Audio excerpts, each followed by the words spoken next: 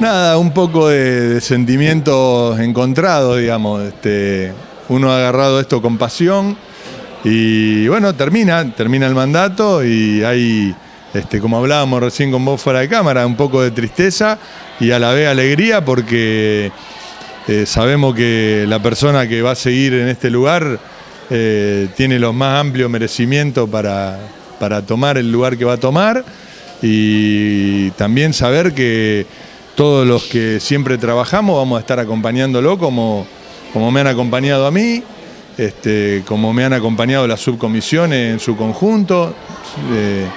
este es un club que sin las subcomisiones es ingobernable, o sea,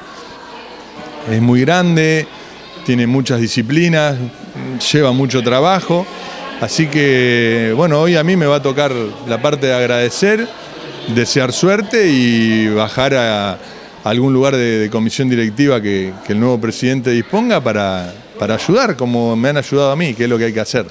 Sí, decíamos hace días en otra entrevista, o vos decías eh, que además de las subcomisiones, fundamentalmente es un club donde los expresidentes siguen estando, así que eh, no mucho descanso. No, no, seguramente que a partir de mañana, desde otros lugares, seguiremos trabajando para el club, como, como es nuestro, nuestra costumbre, nuestra sana costumbre, te diría. Eh, en esta subcomisión creo que si contamos debe haber, de 16 personas, debe haber 7 u 8 expresidentes. O sea, la mitad de la comisión son expresidentes que, bueno, tenemos este grupo que tiene esta idea de club, este destino para el club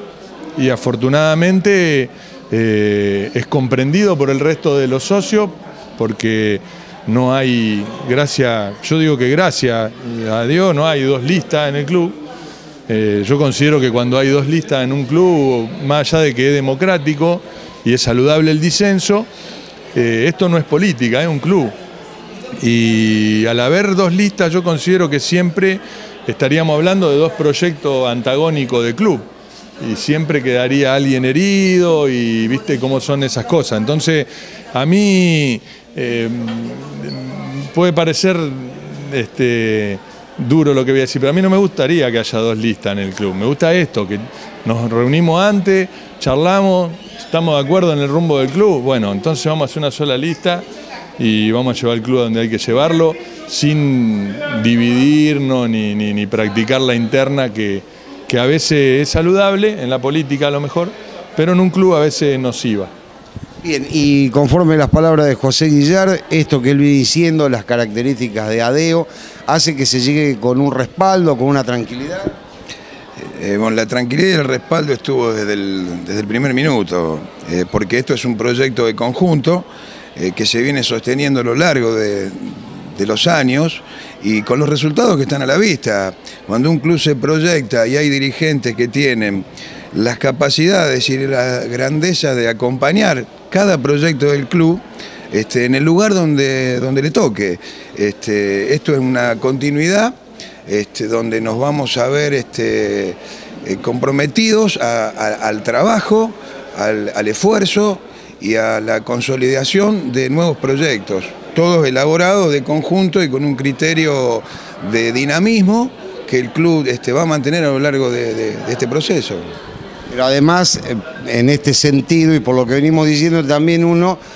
llega a la presidencia del club sin encontrarse con sorpresa alguna, porque ya vino trabajando, porque ya conoce. Sí, en realidad, este, en lo mío personal, este, yo soy un, eterno agradecido a, este grupo, a este club, a esta familia, porque si bien soy nacido este, en esta institución, este, aprendí a caminar en este club, consolidé mi, adolescencia, formé una familia, pero estuve alejado unos cuantos años y este, este grupo de dirigentes me ha dado la posibilidad de participar eh, abiertamente y, esta situación es la que me permitió hoy, gracias a la predisposición, a la buena voluntad eh, de mis compañeros, hoy tener la posibilidad de en los próximos dos, años ser el presidente del club. Eh, cosa que es un lugar de honor es un lugar de honor y de, mucho trabajo. Las responsabilidades este, son lo de menos porque siempre estuvieron, eh, pero es un, es un, lugar de honor, de privilegio y en, mi historia personal este, tiene una carga emotiva,